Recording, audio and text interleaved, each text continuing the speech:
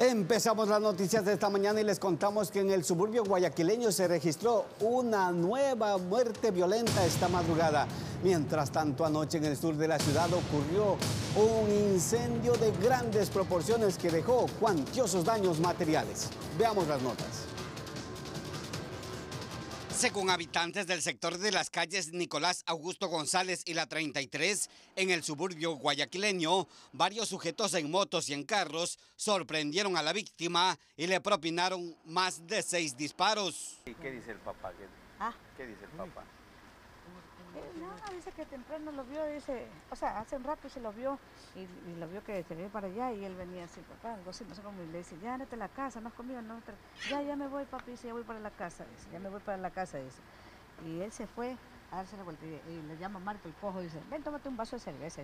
Y cuando oye el papá, papá, Y no te le digo que dispararon yo, al hijo y vino yo soplado. estaba allá y Como consecuencia de los disparos, el hombre de 26 años, identificado como David López, quien no registraba antecedentes penales, falleció casi en el instante. Vino yo soplado. estaba allá y él estaba, o sea, mami, se, se me decía, se me cayó eso, decía. Él decía, Sí, ahí sí una droga. algo así. Oye, ¿y los, los sicarios en qué andaban?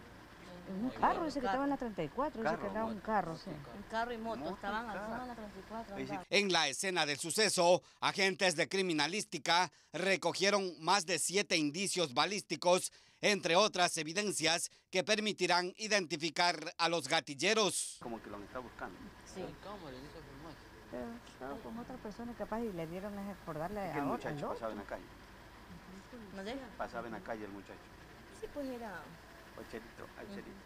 Agentes de la DINASET analizan imágenes grabadas por cámaras instaladas en el sector, las mismas que habrían captado esta muerte violenta perpetrada la madrugada de este lunes en una zona donde varias organizaciones narcodelictivas se disputan el territorio para la venta de sustancias prohibidas. Leonardo Flores, TC Televisión. El incendio de gran magnitud ocurrió antes de la medianoche de este domingo en la cooperativa Unión Cívica, sector del Guasmo Norte, a donde acudieron más de 40 unidades con por lo menos unos 200 bomberos para atender la emergencia. Alrededor de 40, 50 en incendio declarado. Todo un patio de pales. Estamos trabajando todavía ahorita, ¿sí?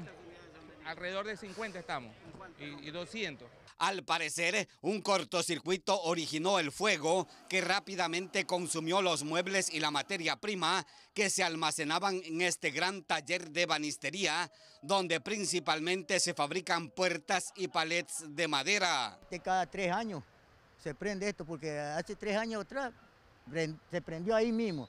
Y, e- y esta es la quinta vez que se prende este pailón. Sí, la quinta vez que se prende el pailón. ¿Qué hay adentro? Pura madera.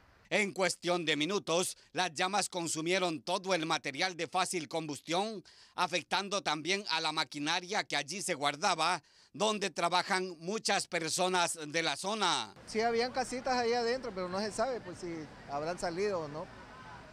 Pierden el trabajo mucha gente. Y justo para esta fecha todavía.